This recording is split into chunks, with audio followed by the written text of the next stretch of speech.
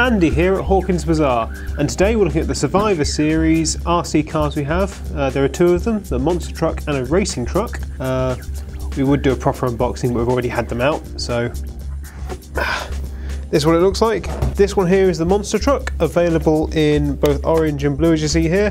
Then we also have the racing truck which is again available in orange and blue. Now both of these they have um, slightly different chassis, but other than that, the underneath is very similar.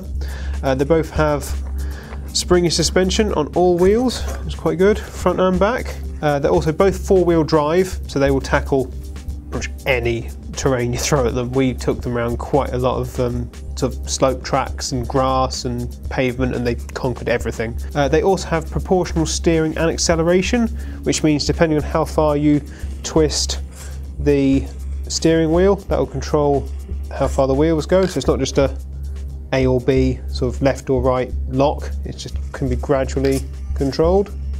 The same with acceleration as well. They can just creep off the spot like that.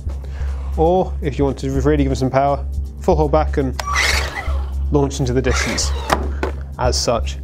As I said earlier, we've already had them both out on the track, so let's take a look at some of the footage, shall we?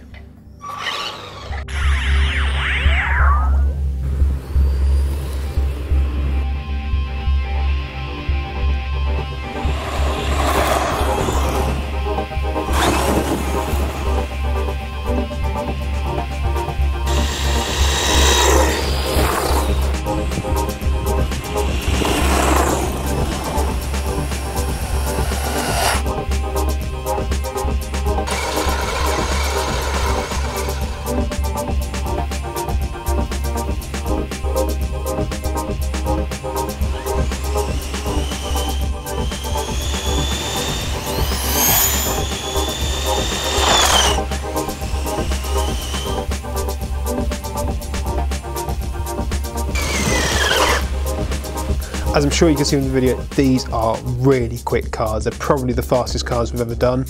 Uh, they're hobby grade, so you can chop and change parts if you need to. Uh, the covers here, for example, you just switch them over. They're, yeah, they're great. We love them here. If you have any questions or want to know anything about them at all, just drop a comment in the box below and we'll get back to you. Otherwise, thanks for watching.